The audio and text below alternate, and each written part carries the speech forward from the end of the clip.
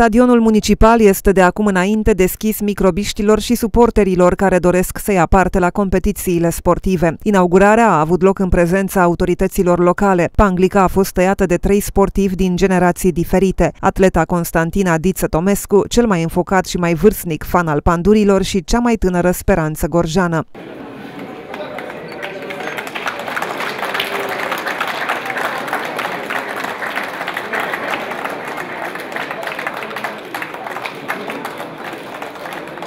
Valeriu Andronache are peste 80 de ani și a fost la aproape toate meciurile pandurilor. A lipsit doar la deplasările din străinătate, unde conducerea a făcut o selecție preferențială la vremea aceea. La câte meciuri ați fost ale... La toate meciurile la moto am fost numai eu singur la moto când jucam. Restul, de când s-a desfințat galeria, singur m-am dus. La Bacău, la Iași, la Cluj, la Miercurea Ciuc am fost acum ultimul timp. Deplasările din străinătate ați fost?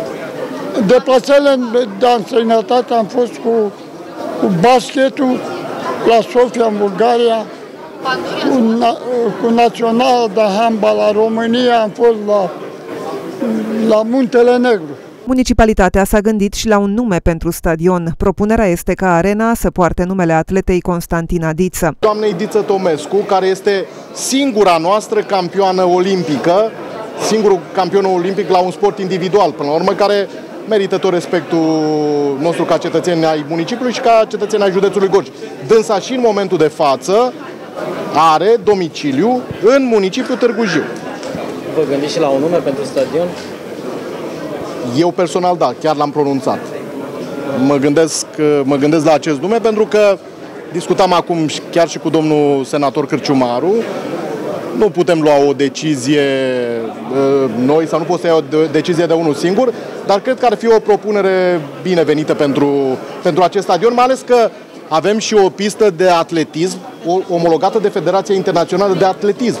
Deci nu discutăm numai de, de fotbal, și cred că este cea mai reprezentativă sportivă pe care a dat-o Gorjo în ultimii 50-60 de ani. Primul meci a fost disputat de echipa formată din foste glorii ale României, printre care Emil Sandoi, Florin Prunea sau Adrian Ilie și echipa fostelor glorii ale pandurilor.